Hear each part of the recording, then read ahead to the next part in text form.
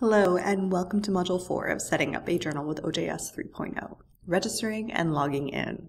Registered user accounts play a big role in OJS, from higher level management right down to casual readers, and creating one is your first step in taking on your role in the journal's publication cycle.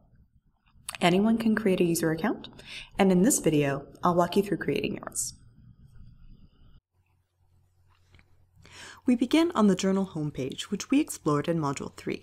In the top right hand corner, you can see two links, to register and to log in. If you already had an account, you'd click on the login link, but we're going to create a new account by clicking register. This brings you to a fillable form. Simply follow the field names to fill in the form. The red asterisks indicate the mandatory fields.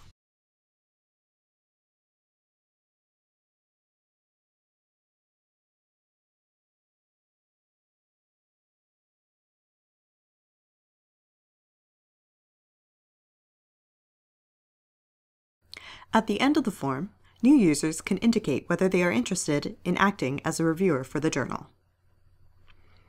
Selecting this option generates a new field where you can indicate your areas of expertise.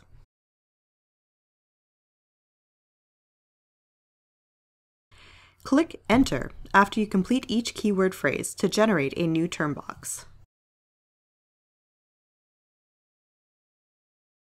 When you've finished completing your reviewing interest, Click Register.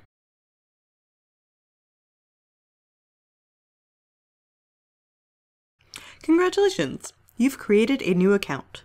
The new page will indicate that your registration is complete, and you can see that the top right-hand corner content has changed to reflect your username, indicating that you are currently logged in.